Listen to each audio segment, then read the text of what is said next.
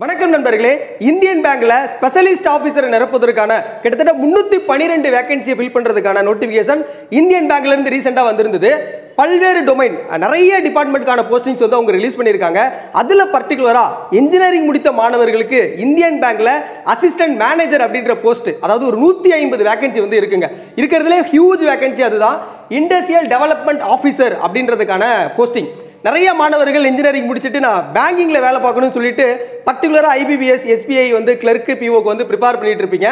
But கிளர்க்காக கூட நம்ம ஓரளவு போயிடலாம். பட் ஆனால் ஐபிபிஎஸ்லேயோ இல்லை எஸ்பிஐலையோ பிஓ கிளியர் பண்ணுறது எவ்வளோ பெரிய டஃபஸ்ட் விஷயன்றது பேங்கிங் ப்ரிப்பேர் பண்ணக்கூடிய மாணவர்களுக்கு தெரியும். ஏன்னா பிஓக்கு வந்து பார்த்தீங்கன்னா உங்களுக்கு ப்ரிலிம்ஸு மெயின்ஸ்லாம் அந்த அளவுக்கு டஃப்பாக இருக்கும். அந்த மாதிரி இன்டர்வியூ இருக்கும். ஓகேவா பட் அதே பி பிஓ லெவலில் இன்ஜினியரிங் முடித்த மாணவர்களுக்கு கொடுக்கக்கூடிய ஒரு அருமையான வாய்ப்பு தான் இந்த இண்டஸ்ட்ரியல் டெவலப்மெண்ட் ஆஃபீஸர் இது வந்து பார்த்தீங்கன்னா ஒரே ஒரு ரிட்டன் எக்ஸாமினேஷன் இன்டர்வியூ கிடைச்சோன்னா உங்களுக்கு வந்து வேலை கொடுத்துருவாங்க.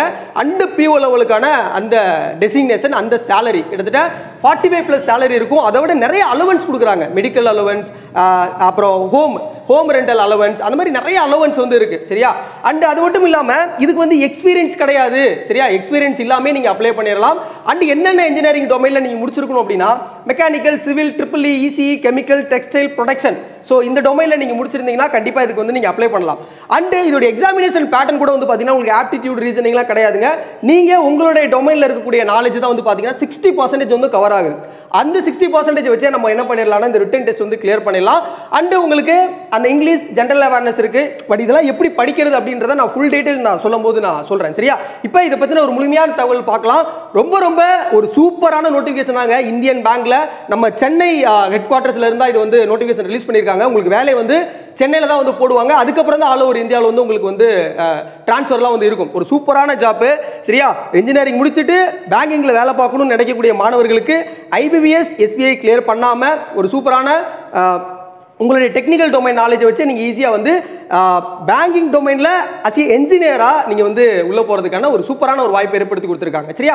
ஸோ இதை பற்றி பார்க்கறதுக்கு முன்னாடி நான் இதை எப்படி படிக்கிறது அப்படின்றத நான் சொல்கிறேன் இதுக்கு எப்படி நம்ம படிக்கலான்னு அதுக்கு முன்னாடி நம்ம கற்பம் தமிழ் அகாடமியில் சிவில் மெக்கானிக்கல் ட்ரிபிள் இசிக்கு வந்து online and offline classes for all technical service examinations like வந்து இஎஸ்சி கேட்டு டிஆர்பி இப்போ டிஎன்பிசி ஏஇ அண்டு இப்போ நெக்ஸ்ட் வரக்கூடிய டிஆர்பி அசிஸ்டன்ட் ப்ரொஃபஸர் இந்த மாதிரி அதுக்கப்புறம் டிஎன்இபி இது எல்லாத்துக்குமே வந்து பார்த்தீங்கன்னா நம்ம ஆன்லைன் ஆஃப்லைன் க்ளோசஸ் கிளாஸஸ் வந்து ப்ரொவைட் பண்ணிகிட்டு இருக்கோம். ஸோ அது மட்டும் இல்லாமல் நம்ம வந்து டெஸ்ட் சீரிஸ் வந்து நம்ம லான்ச் பண்ணியிருக்கோம். கட்டாய தகுதி தமிழ் தேர்வுக்கு வந்து ஆன்லைன் வீடியோ கோர்ஸ் லான்ச் பண்ணியிருக்கோம். ஜென்ரல் ஸ்டடீஸுக்கு நம்ம வீடியோ கோர்ஸ் லான்ச் பண்ணியிருக்கோம்.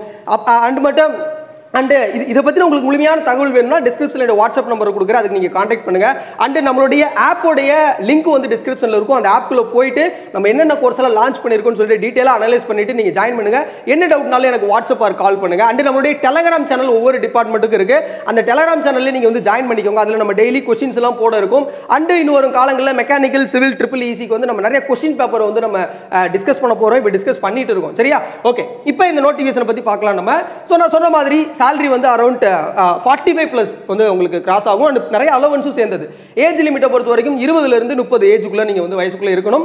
அண்ட் எஸ்சி எஸ்டியாக இருந்தீங்கன்னா உங்களுக்கு ஐந்து வருடம் ரிலாக்ஸேஷன் கொடுக்குறாங்க. ஓபிசி நான் கிரிமிலேயராக இருந்தீங்கன்னா த்ரீ இயர்ஸ் அண்ட் பிடபிள்யூடியாக இருந்தீங்கன்னா டென் இயர்ஸ் வந்து ஏஜ் ரிலாக்ஸேஷன் இருக்குது சரியா?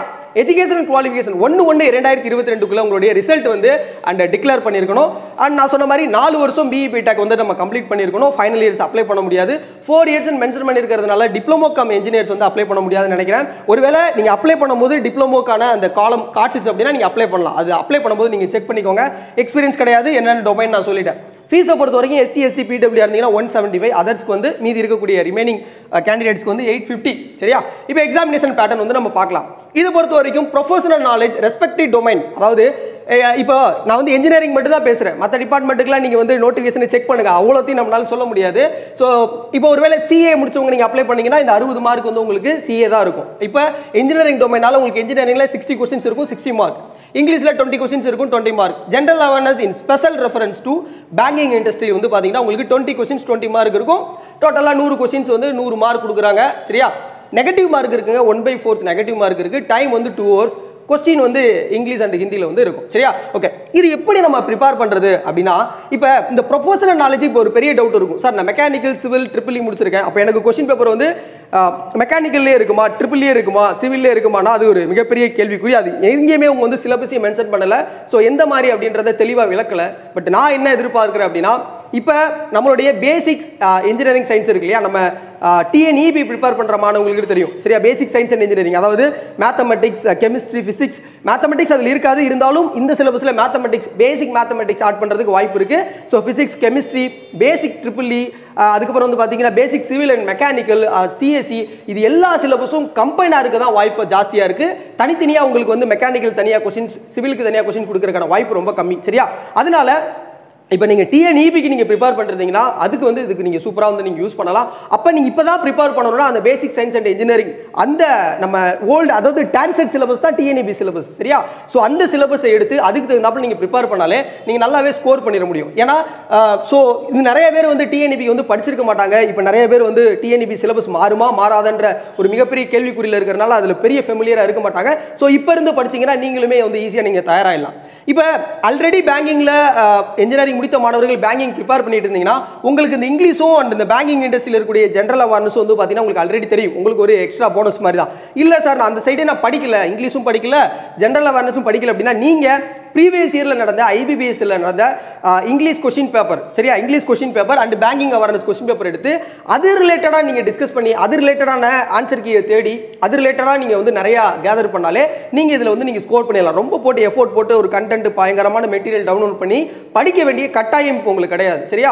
ஓல்டு கொஸ்டின் பேப்பர் அனலைஸ் பண்ணி மட்டும் படிங்க சரியா? இது வந்து நல்லாவே பேசிக் சயின்ஸ் அண்ட் இன்ஜினியரிங் நீங்கள் படிங்க. இன்ஃபேக்ட் நீங்கள் வந்து டிஆர்பியோ டிஎன்இபியோ ப்ரிப்பேர் பண்ணியிருந்தீங்க உங்கள் டொமைன்லேயே கொஸ்டின் கேட்டிருந்தாங்கனாலும் நீங்கள் ஈஸியாக அப்ரோச் பண்ணிட முடியும் சரியா? பட் என்னுடைய நைன்ட்டி பர்சன்டேஜ் வந்து காமனாக இருக்க தான் வாய்ப்பு இருக்குது தனித்தனியெல்லாம் கொஸ்டின் பேப்பர் செட் பண்ண வாய்ப்பே கிடையாது. ஏன் ரெஸ்பெக்டிவ் டொமைன் அவங்க ஜென்ரலாக கொடுத்துருக்காங்கன்னா நிறைய பல்வேறு டிகிரி முடிச்சவங்க வந்து அப்ளை பண்ணுறாங்க இப்போ சிஏ முடிச்சிருந்தாங்கன்னா சிஏலேருந்து கொஸ்டின்ஸ் இருக்கும். எம்பிஏ முடிச்சிருந்தாங்கன்னா எம்பிஏலேருந்து இருக்கும். சரி அந்த மாதிரி தான் நான் நினைக்கிறேன். ஸோ அதனால் பேசிக் சயின்ஸ் இன்ஜினியரிங் தரவு பண்ணிக்கோங்க. ஸோ அந்த மாதிரி படித்தாலே நம்ம வந்து இதில் குறைஞ்சது வந்து ஒரு ஒரு ஒரு செவன்ட்டி பர்சன்டேஜ் மார்க் வந்து நீங்கள் ஸ்கோர் பண்ணிட்டாலே நீங்கள் வந்து ரிட்டன் வந்து கிளியர் ஆகிட்டு இன்டர்வியூக்கு எடுத்துகிட்டு போயிடுவாங்க. இன்டர்வியூ வந்து ஒன் இஸ்ட் ஃபைவ் ஒரு வேகன்சிக்கு அஞ்சு அப்படின்ற அளவுக்கு இன்டர்வியூக்கு வந்து கால்ஃபர் பண்ணுவாங்க. இன்டர்வியூ வந்து கூப்பிடுவாங்க. அந்த மாதிரி ஷார்ட்லிஸ்ட் பண்ணுவாங்க. சரியா? இன்டர்வியூவில் வந்து ஹண்ட்ரட் மார்க் வந்து கொடுக்குறாங்க.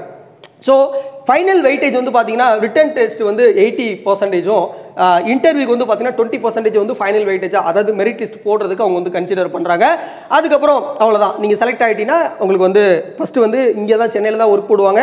அதுக்கப்புறம் ட்ரான்ஸ்ஃபர் ஆல் ஓவர் இந்தியா வந்து ட்ரான்ஸ்ஃபர் பண்ணுவாங்க. சரியா? ப்ரொபேஷன் பீரியட் வந்து டூ இயர்ஸ் இருக்கும். டூ இயர்ஸ் முடிஞ்சவொன்னே வீட்டுக்கு அனுப்பிச்சிருவாங்களான்னு கிடையாது. அது ஒரு ட்ரைனிங் பீரியட் மாதிரி. அந்த ட்ரைனிங் பீரியடில் நீங்கள் வந்து உடனே ஜாப்பை வந்து நீங்கள் குவிட் பண்ணிட்டு போக முடியாது. அப்படி போகிறதா இருந்தால் அவங்க ஒரு பாண்டு போட்டிருக்காங்க. ரெண்டு லட்ச ரூபா இன்க்ளூடிங் அலாங் வித் சேலரி சேலரியோட நீங்கள் வந்து கட்டிட்டு தான் நீங்கள் வெளியில் போகணும் அப்படின்ற மாதிரி சொல்லியிருக்காங்க. அதனால் அதில் யார் இந்த வேலைலாம் கிடச்சி யார் வெளியில் போக போகிறது செம்மையான ஜாப் சரியா? லாஸ்ட் டேட் வந்து பதினாலு ஆறு ரெண்டாயிரத்தி இருபத்தி ரெண்டுக்குள்ளே சீக்கிரம் அப்ளை பண்ணிடுங்க. என்ன வெப்சைட் அப்படின்னா W W dot Indian Bank dot in அதில் போய் நீங்கள் அப்ளை பண்ணிக்கலாம். ஒரே ஒரு போஸ்ட்டுக்கு மட்டும் தான் நீங்கள் அப்ளை பண்ண முடியும். சரியா? ஒரு அருமையான வாய்ப்பு அப்ளை பண்ணி ஃபஸ்ட்டு போய் எழுதுங்க. சரியா? தயவு செய்து ப்ரிப்பேர் பண்ணிட்டு டெடிகேட்டடாக ப்ரிப்பேர் பண்ணிட்டு போய் எழுதுங்க. இதெல்லாம் நமக்கு வரவா போகுதுன்னு நினச்சிட்டு இருப்பீங்க. சரியா? தனக்கு வரும் அப்படின்னு எங்கேயோ ஒரு ஆள் படிக்கிறவங்க தான் அந்த போஸ்டிங் போக போகிறாங்க நமக்கு வர நமக்கு கிடைக்காது நமக்கு வராது. இதெல்லாம் வந்து வேறு ஏதாவது ஏதோ ஒரு நார்த் இந்தியன்ஸோ இல்லை அதர் சைடு தான் எடுத்துப்பாங்க அப்படின்னு நீங்கள் நினச்சிட்டு இருந்தீங்கன்னா ஒன்றும் நடக்க போகிறதில்ல உங்களுக்கு இந்த போஸ்டிங் கிடைக்க போகிறதில்ல நமக்கு வரும் நம்மளால் முடியும். கண்டிப்பாக இந்த இது இந்த ஒரு போஸ்ட்டாக இருந்தாலும் இதுக்குள்ளே போகிறோம்னு நினச்சி படிக்கிறவங்களுக்கு இது கிடைக்க போகுது. அதனால் டெடிகேட்டடாக ஹார்ட் ஒர்க்கோட சின்சியர் எஃபோர்ட் போட்டு பண்ணிங்க அது எந்த வேலையாக இருந்தாலும் உங்களால் வாங்க முடியும். முடியாதுன்றது ஒன்றுமே கிடையாது. சரியா? நீங்கள் முடியாதுன்னு நினைக்கிற வரைக்கும் அது முடியும். சரியா? சரி ஓகேப்பா. இது நிறைய பேத்துக்கு போய் சேரணும் அப்படின்னா நிறையா டெலகிராம் வாட்ஸ்அப் குரூப்பில் ஷேர் பண்ணி கொண்டு போங்க. இந்த மாதிரி ஒரு அருமையான போஸ்ட் வந்திருக்கு. இதெல்லாம் ரெகுலராக வர்றது கிடையாது. எப்பயாவது வருது. இது நம்ம யூட்டிலைஸ் பண்ணி உள்ளே போகணும். இன்ஜினியரிங் முடித்த மாணவர்களுக்கு பேங்கிங்கில் நான் ஒர்க் பண்ணணும்னு நினைக்கக்கூடிய மாணவர்களுக்கு ஒரு மிகப்பெரிய வரப்பிரசாதம் தான் இந்த நோட்டிஃபிகேஷன் சரியா? நிறைய பேருக்கு ஷேர் பண்ணி கொண்டு போக. பிடிச்சிருந்ததுன்னா சப்ஸ்கிரைப் பண்ணுங்கள் லைக் பண்ணுங்கள் ஷேர் பண்ணுங்கள் அடுத்த ஒரு வீடியோவில் சந்திப்போம் என்று சொல்லி விடைபெறுகிறேன். நன்றி வணக்கம். தேங்க்யூ